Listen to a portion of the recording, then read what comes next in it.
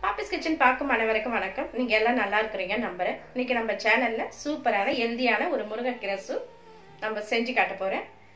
நம்ம முருங்கைக்கீரை சூப் வந்து உடம்புக்கு ரொம்ப ஹெல்தியான ஒரு ஃபுட்டு அது வந்து சுகர் கண்ட்ரோல் பண்ணும் பிபி கண்ட்ரோல் பண்ணும். நல்லா கண்ணு தெரியும்.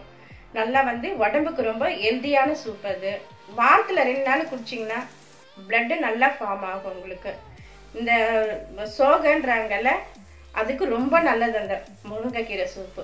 வாரத்தில் ரெண்டு நாள் குடிச்சிட்டு ஒரே மாதத்தில் நீங்கள் குடிச்சு பார்த்தீங்கன்னா அதோடைய ரிசல்ட்டு உங்களுக்கு நல்லாவே தெரியும்.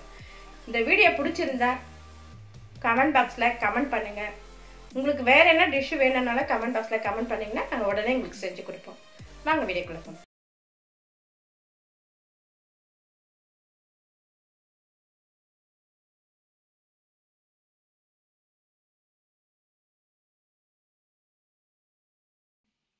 இதுதான் சூப்புக்கு தேவையான திங்ஸ் ஒரு அஞ்சு பல் பூண்டு ஒரு பத்து மிளகு சீரகம் ஒரு வெங்காயம் ஒரு தக்காளி கொத்தமல்லி.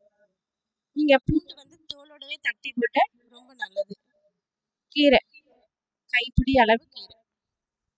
அதை நல்லா நம்ம அலசி இந்த பச்சை மஞ்சள்லாம் இருக்கும்ல அதெல்லாம் எடுத்து போட்டு பழுத்த கீரை எடுத்து போட்டு நம்ம கொஞ்சம் காம்போடவே போட்டால் நல்லா தான் இருக்கும். சூப் நல்லா இறங்கும் அதில். ஃபஸ்ட்டு நம்ம ரெண்டு ரெண்டு டம்ளர் தண்ணி பெரிய டம்ளரில் ரெண்டு டம்ளர் தண்ணி ஊற்றணும் அது வந்து ஒரு டம்ளர் ஆகுற அளவுக்கு நல்லா கீரை நல்லா வேகணும்.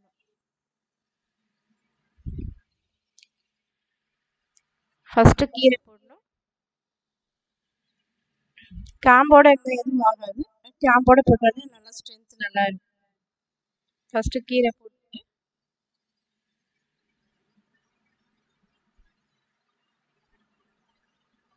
வெங்காயம் தக்காளி பாதி போட்டிங்கன்னா போதும். ஃபுல்லாக தேவையில்லை ஆஃப் போட்டாலே போதும். கொத்தமல்லி பூண்டு தோலோடவே தட்டி போடலாம் அப்படியே. சீரகம் ஒரு அரை ஸ்பூன் சீரகம் ஒரு பத்து மிளகு தேவையான சால்ட் ரெண்டு டம்ளர் நீங்கள் தண்ணி ஊற்றிட்டிங்கன்னா அது ஒரு டம்ளர் அளவு ஆகிற விட்டு நல்லா வேகும். இது வந்து மீதி அந்த சூப் எடுத்தது சூப்பு எடுத்தது சூப் இது அது வேக வச்ச வேஸ்ட்டு கீழே போகாத அதை நல்லா மிக்சியில் அரைச்சி காமிச்சது இது. நம்ம சூப் ரெடி இதோ அடுத்த வீடியோவில் இன்னும் சூப்பரான டிஷ்ஷோட நம்ம பார்க்கலாம். பாய்